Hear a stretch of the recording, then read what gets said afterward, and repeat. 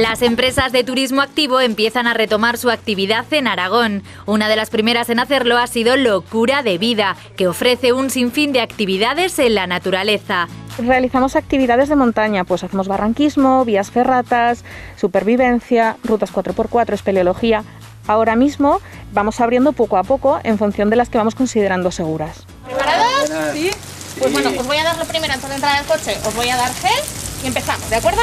A raíz del comienzo de la fase 1 nos dieron la oportunidad de abrir con unas limitaciones en cuanto a número de personas y con unos protocolos de seguridad pues para que no, no pudiese haber infecciones durante nuestras actividades. Entonces, como nuestras actividades eran muy fáciles de adaptar, algunas de ellas las adaptamos muy rápido y desde el principio comenzamos a, a trabajar. La verdad es que la gente tenía muchas ganas de salir. En el momento que dimos ese pistoletazo de salida, comenzaron las reservas.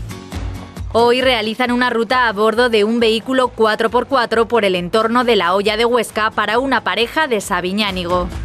En este caso, la ruta que estamos realizando es la del Mirador de los Buitres, el atardecer en el Mirador de los Buitres. Es una de las mejores vistas que tenemos para poder ver el atardecer y es espectacular. Pasamos por un trocito de bosque, por la zona del Cajicar, que también es muy bonito, vemos toda la comarca de la olla, eh, las Navas, incluso la Sotonera.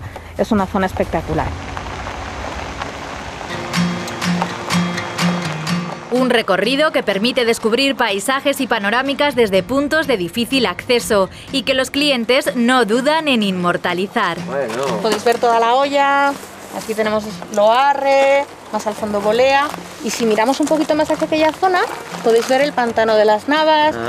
Nos decidimos a realizar esta actividad puesto que nos encontramos en este periodo de desescalada y vimos que Locura de Vida ofertaba este tipo de actividad teníamos ganas de conocer esta zona, llevábamos tiempo queriendo venir y, bueno, ahora que se podía realizar esta actividad no, y nos podemos mover por la provincia, pues nos decantamos a, a, realizarla y la verdad es que encantados porque el sitio es maravilloso, unas vistas espectaculares. La primera salida de ocio que hacemos, aunque tenemos las mascarillas, eh, respiramos bien, ¿sabes? De toda esta toma de aire, de naturaleza. Y es espectacular la, las vistas encima de esta salida. Las circunstancias actuales exigen tanto a los clientes como a las empresas adaptarse a los protocolos de seguridad. Nuestra primera norma, por ejemplo, es que sean grupos naturales, grupos que ya vienen formados de, origen para evitar contagios. Eh, nos medimos temperatura, desinfectamos todo con un virucida. Son una serie de, normas de seguridad que nos permiten minimizar eh, este riesgo de contagio durante lo que son las actividades.